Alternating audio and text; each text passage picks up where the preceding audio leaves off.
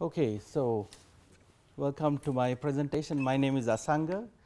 Uh, so before I start, I just want to tell you that uh, since the last Omnet, like we've been working a lot on Omnet.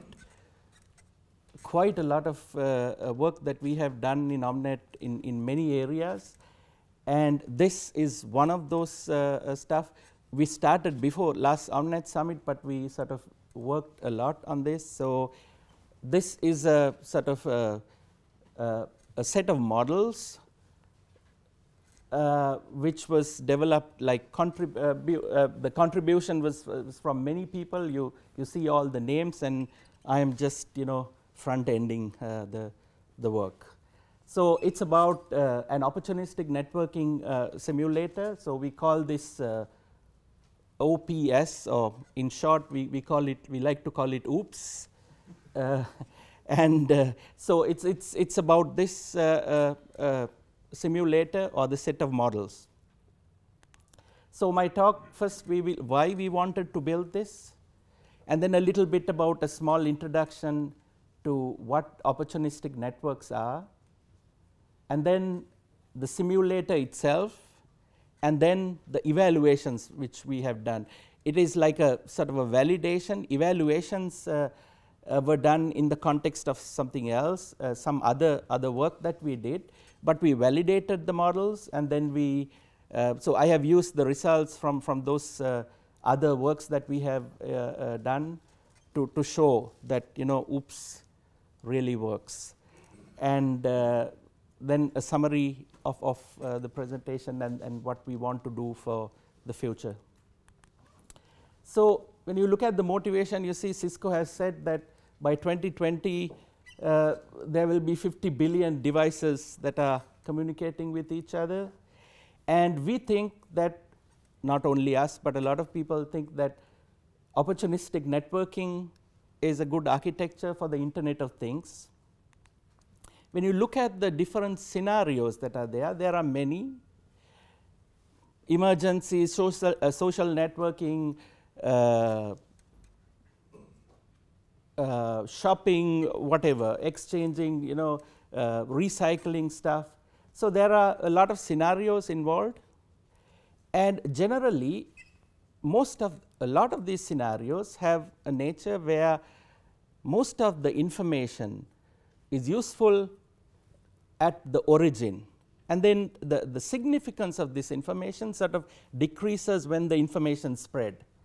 So, hence uh, hence the, the, the, the use of opportunistic networks.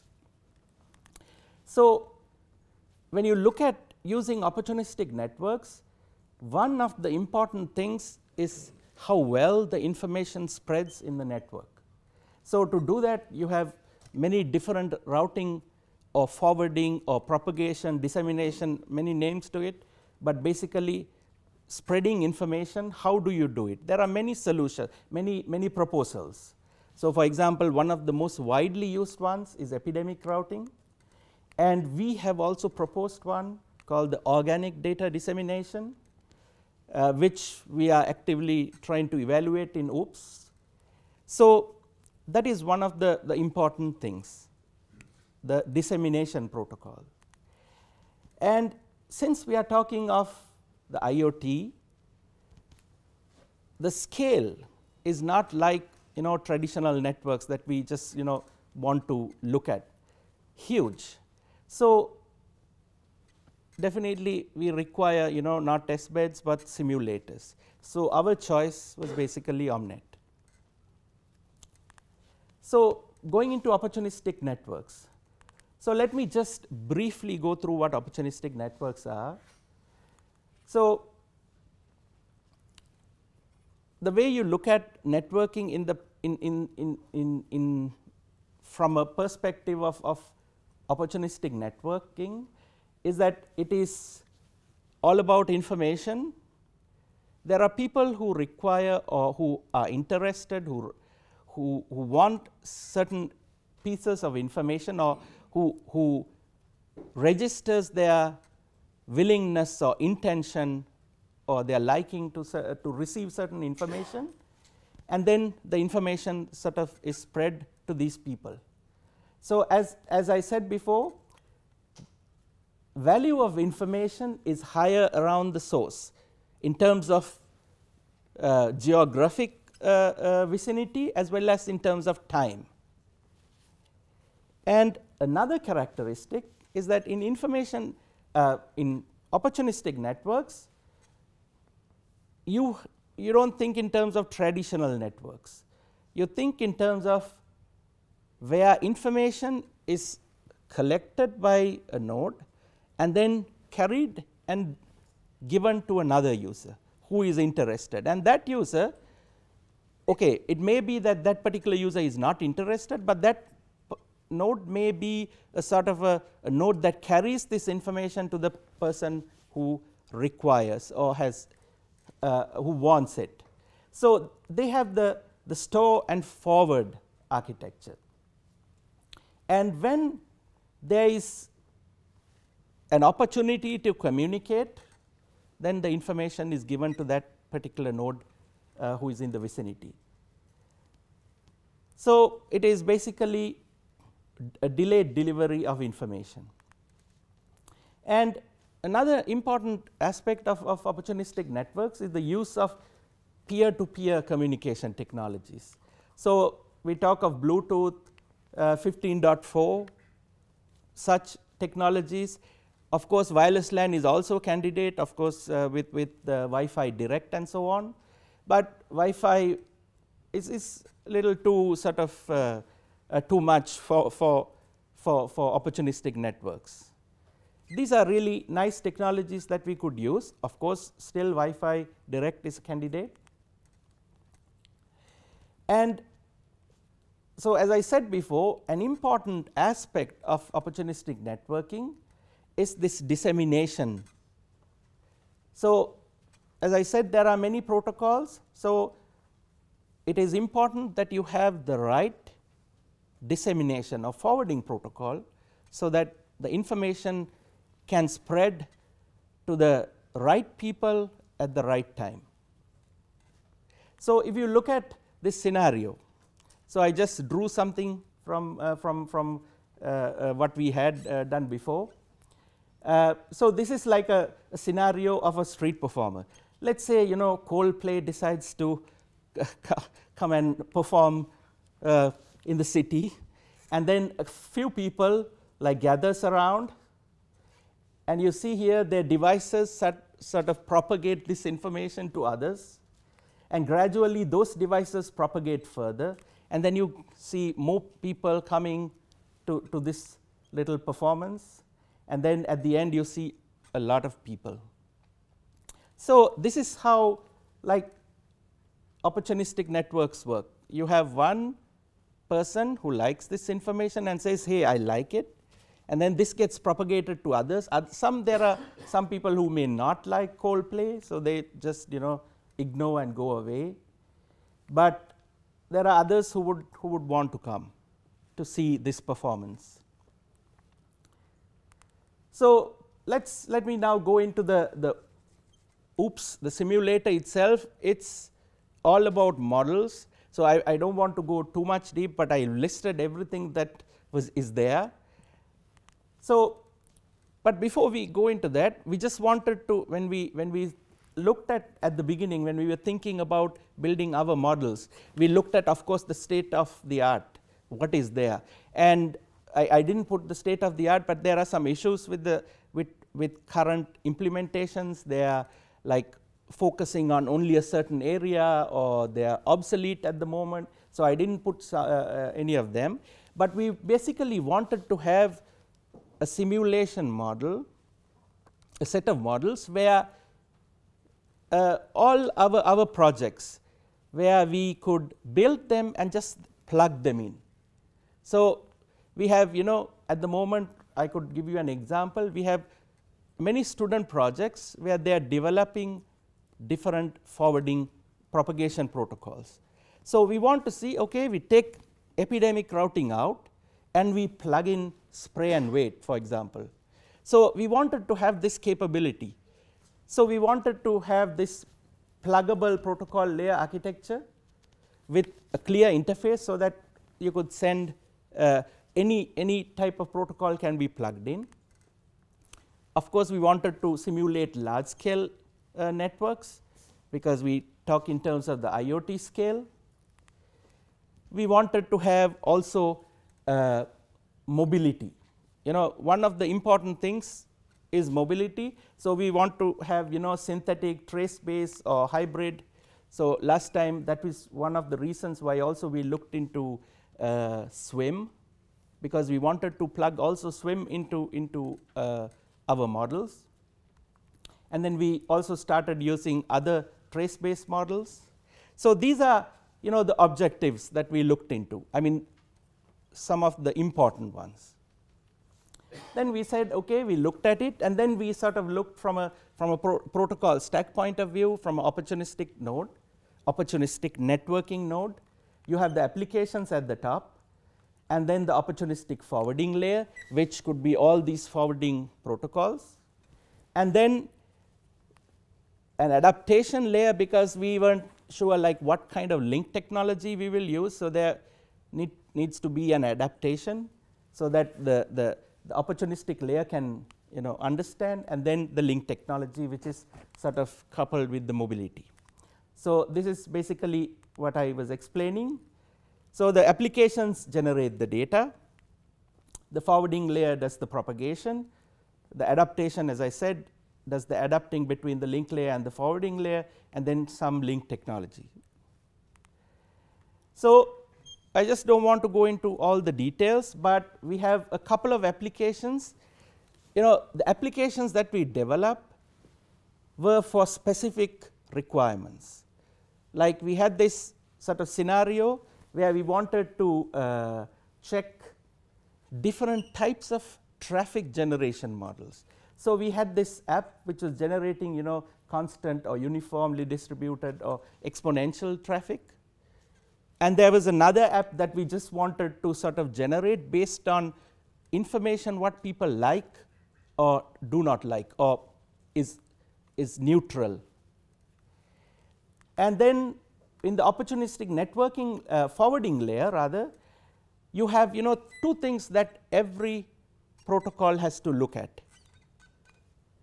Because since we have the store and forward, you need to cache data and then the second part is that you need to be able to know what your neighborhood is and then communicate.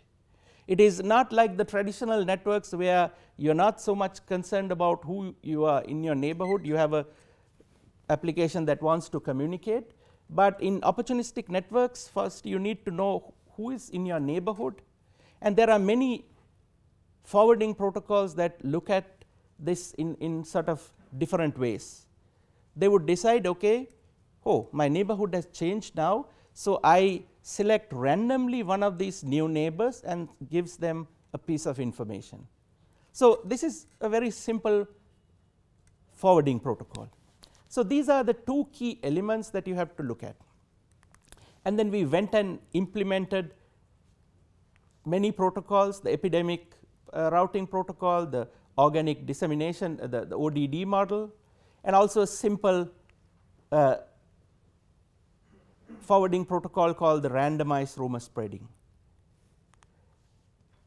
We at the moment we do not have a link adaptation layer as such, it is just a pass through uh, thing where it just passes the packets up and down. And then we have a link layer which we it is a modeled link layer we do not use any of the though our our model is inet compatible we do not use any of them because uh, at the moment we use a modeled uh, link layer which is very simple, but we have the, the stuff we require because you know our networks what we simulate like are sometimes 5000 nodes and so on. So, this is what we are looking at.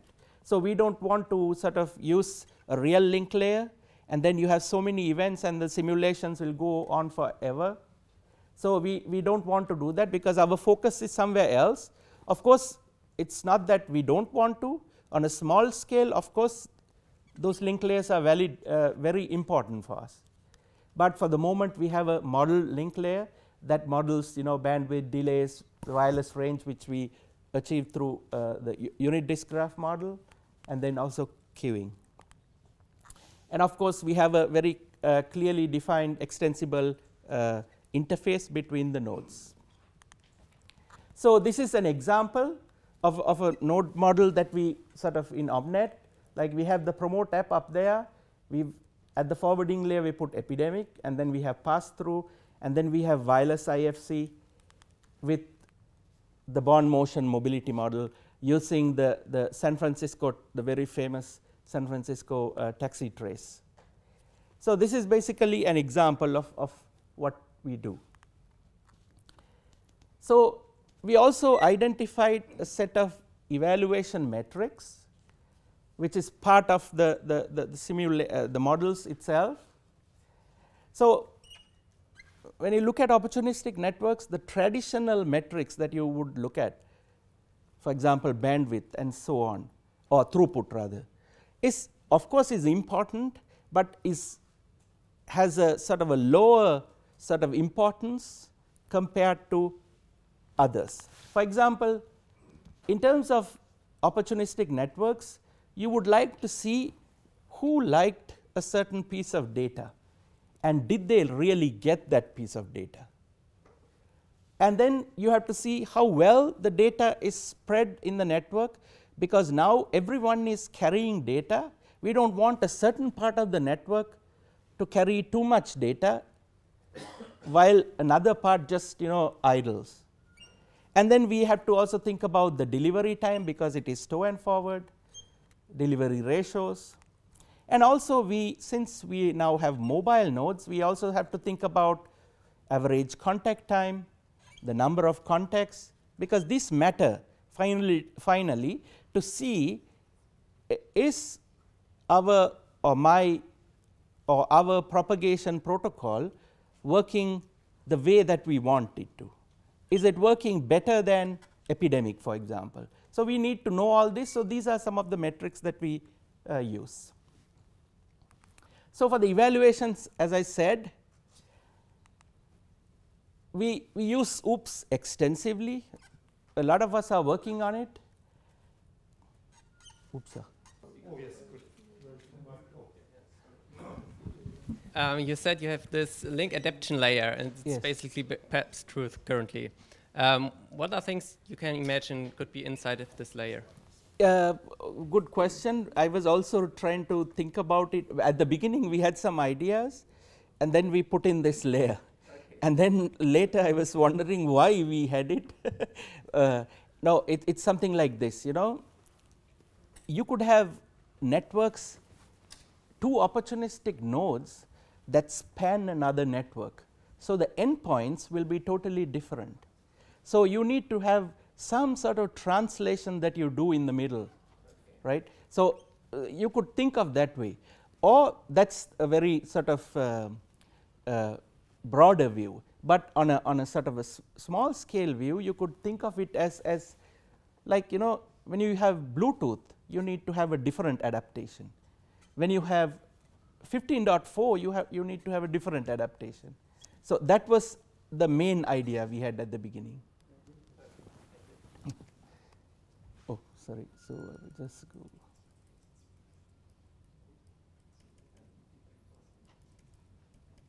Okay, sorry about that.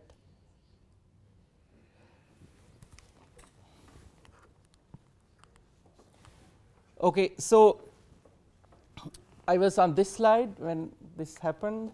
So, uh, so we as I said we use OOPS extensively in our work and uh, we do a lot of evaluations of different uh, uh, protocols, uh, the forwarding protocols, and we, we, we wrote a survey of, of uh, uh, OpNets recently, and in that we use OOPS very extensively. Like we were changing it regularly to do this, to do that.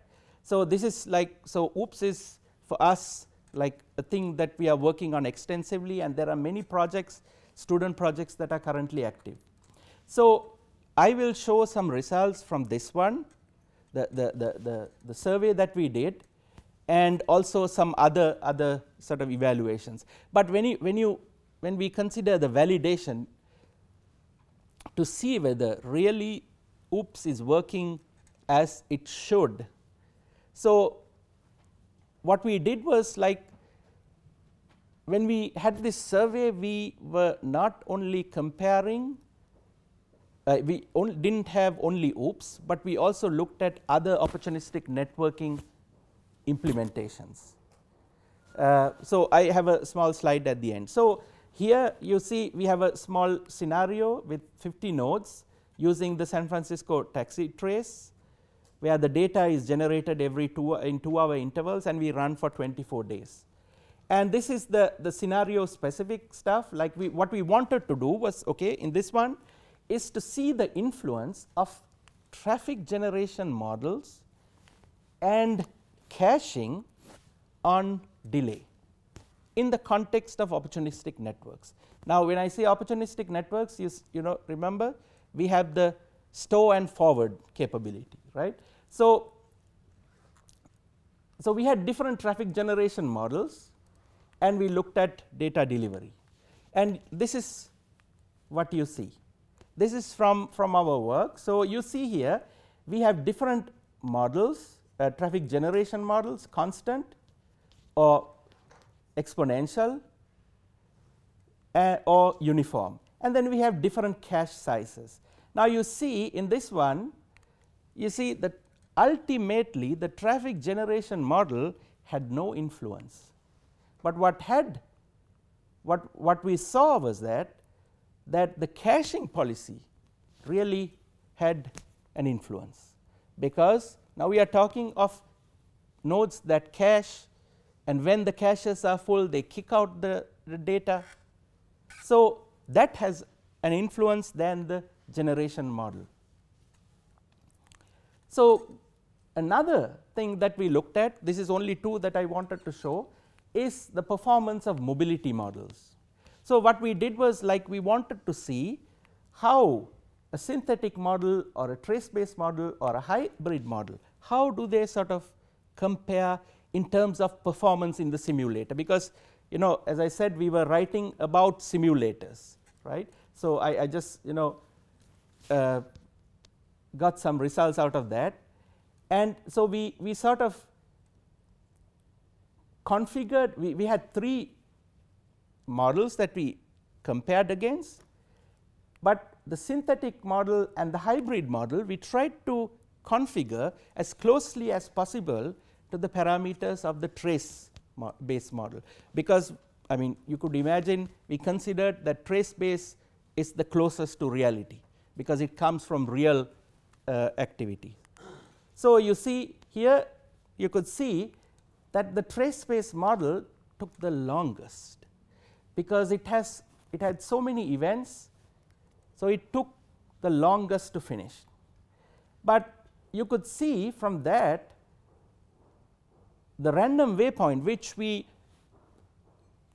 parameterized as closely as possible to the parameters that we got from the San Francisco trace uh, was you know much faster, but you could see that you know it is not close to anywhere close to the trace model, but swim was relatively close.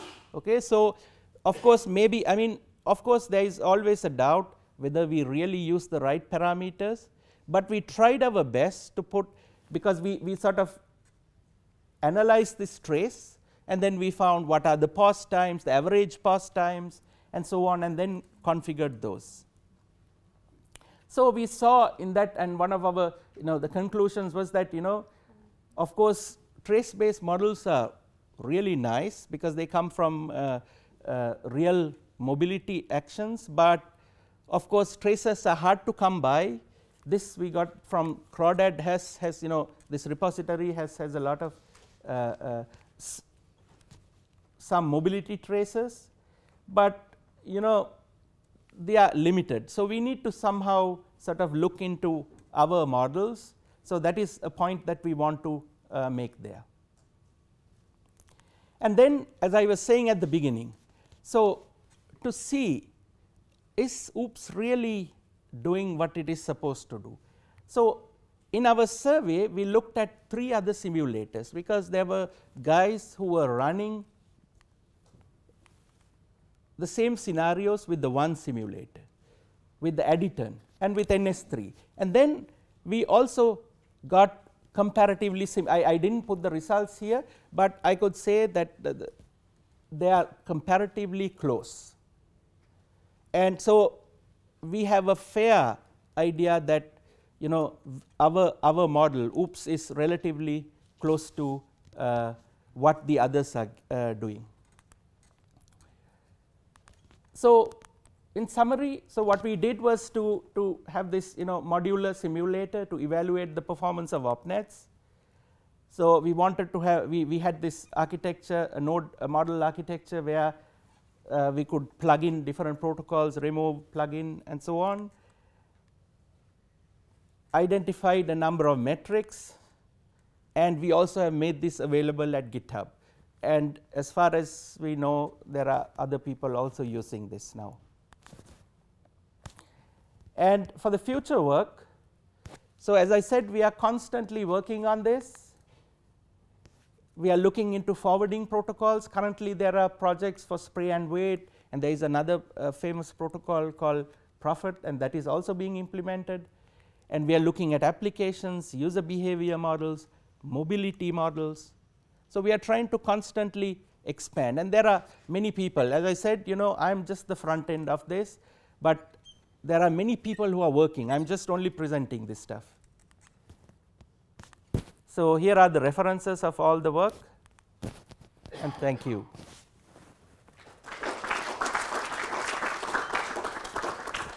So, thank you so much and uh, session. Uh, okay, so we can have a couple of questions. Uh, any questions from the audience? We already have one uh, in the middle.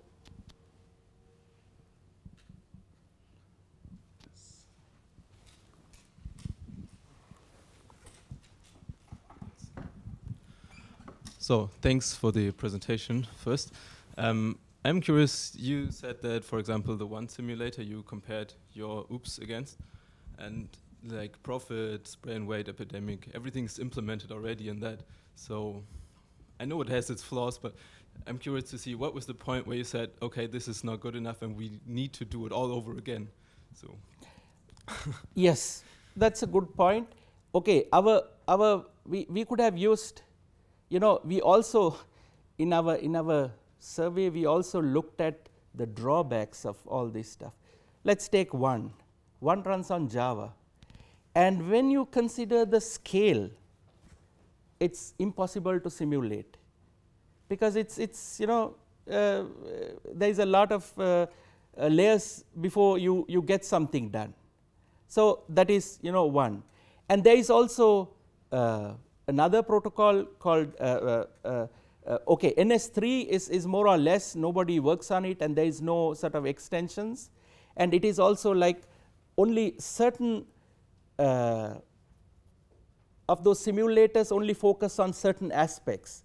And this was also true with Omnet the, the, the existing uh, models. They were focusing on certain aspects and they were like you know fine grained in those areas and then the rest of the stuff were built to focus on that. So, for us they were really not very useful. So, we looked at them and then we decided we, we should build because we have so many things that we want to do and we want to have this you know architecture where we plug in things. So, because of that we sort of stuck to doing it in Omnet and we are trying to improve it so that we could speed up because we are talking of, of uh, IoT scale. So, we want to uh, be as, as efficient as possible. So, we sort of left these others out.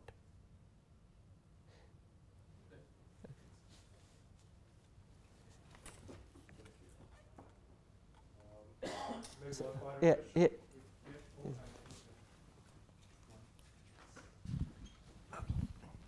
Yeah, thank you for your talk. Uh, I'm a little bit interested or much interested in this topic. Uh, quite specific question maybe. Um, how do you go ahead to select if you're a node, another node in your neighborhood? um, like you said that you have quite an, you have a neighborhood and you select from nodes in your neighborhood one randomly. Yes. Do you require nodes to do a handshake? Because I can assume that in qu- uh, for some kind of mobility that doesn't work. So it is it is basically dependent on the forwarding protocol that you use.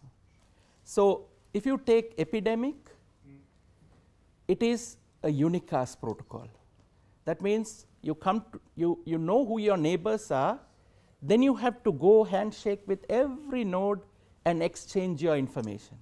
So that's epidemic. So there is also then a class of other protocols which do broadcasting. So then you don't have this handshake as such.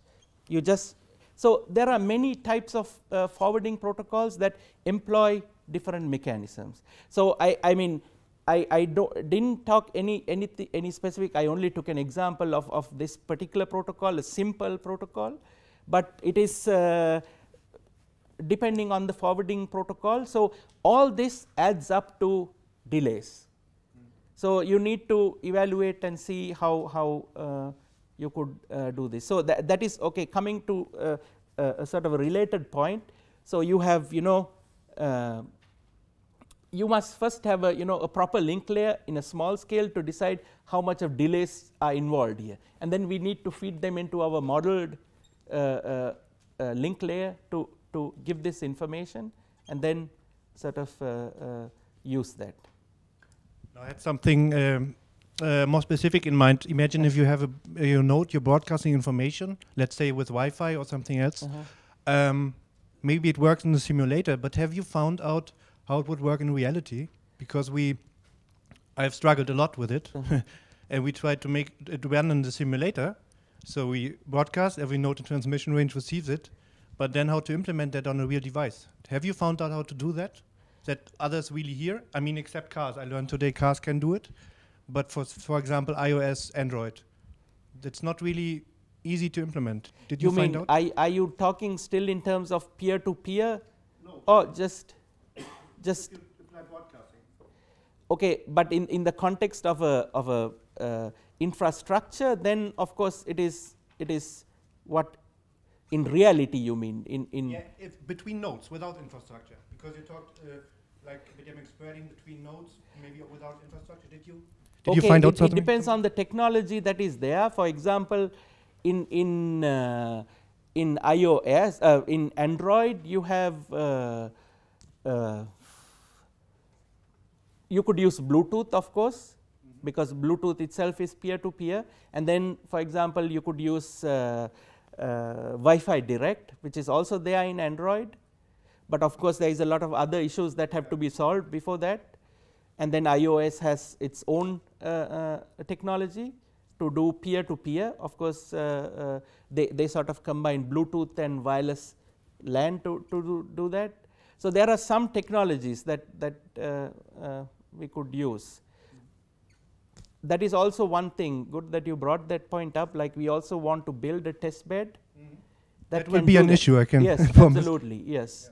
So at the moment, like Jens is, uh, Jens is also part, so I could tell, so that's Anna, Anna is working on a lot of the concepts. Uh, Vishnu is working on OOPS and Jens is working on OOPS. So we are sort of all the, and there are some students also uh, who is one student outside who's also working. So we, we are sort of looking at that and Jens was looking at uh, uh, sort of having opportunistic networks on real devices. So he was investigating Bluetooth and, and to see how, how that works. So these are sort of technologies that are still evolving and they are, uh, you know, essentially they are all infrastructure based technologies. So for this peer to peer, it's quite hard. And every uh, operating system manufacturer has their own uh, way of doing things. Yeah, maybe we can keep in touch then, because I did some work with uh, Gunnar Karlsson and uh, Silvia and Olafur. You Ah, cited them. okay, So. I, I, I Yeah. did some work with them. It's still a little bit challenging, but that's very interesting. Thank you. okay, good. Yeah, so, sorry. I think I overshoot, overshot. It's, it's on time actually. We started a little five minutes later, so exactly we finished on time. Okay. So let's finally give the the Asanga one final uh, hands. Okay. Thank you.